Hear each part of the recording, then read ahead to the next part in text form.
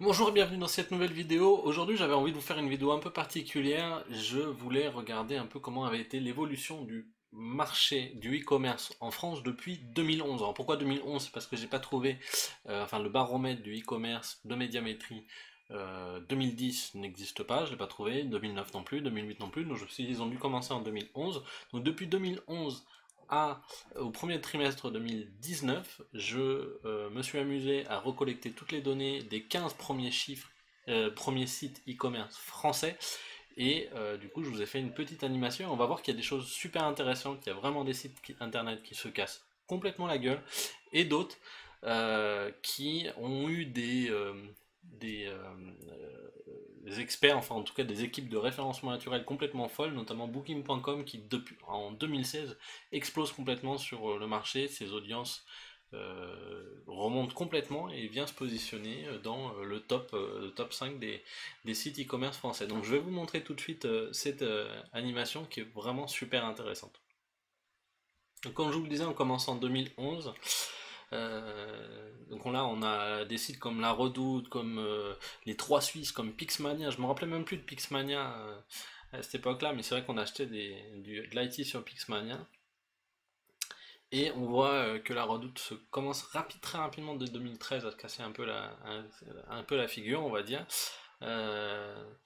et Booking qui arrive en 2014, qui fait une petite apparition dans le top 15 en 2014, qui va redisparaître en 2015 ne sera pas dans le top 15 en 2015. Amazon est complètement parti euh, dans, sur, sur une stratosphère. Et là, on arrive 2016. Euh, la redoute en 2016 qui est super bien positionnée. Et là, en 2017, tout change. Booking qui arrive, Airbnb qui débarque, la redoute qui, se, qui disparaît complètement des radars.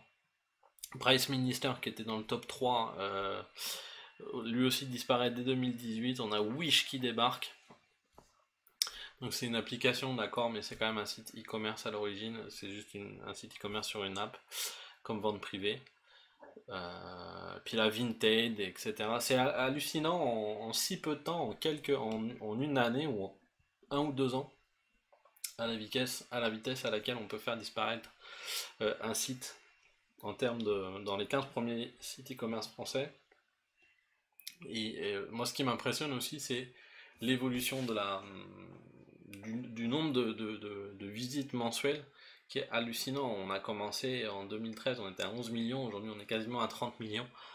C'est euh, impressionnant. Franchement, enfin moi c'est ce genre de, de, petits graphiques qui me plaisent parce que c'est vraiment impressionnant de voir à, quel point les, les, entreprises françaises ont, vraiment donc voilà ce que j'avais envie de vous montrer aujourd'hui, petite vidéo très courte euh, sur l'évolution des sites e-commerce, sur l'audience, l'évolution des audiences des sites e-commerce français depuis 2011. Si vous aimez ce genre de vidéo et surtout si vous voulez monter un business en ligne ou euh, développer les ventes de votre produit grâce à internet, grâce à de l'inbound marketing, grâce à des tunnels de vente, grâce à la publicité sur LinkedIn ou sur Facebook, etc abonnez-vous à cette chaîne YouTube, à cliquer sur le bouton s'abonner juste en bas puisque c'est vraiment ce que euh, je vais vous présenter. Je vais vous présenter beaucoup de tutoriaux, beaucoup de, euh, de vidéos pour vous aider à développer votre business.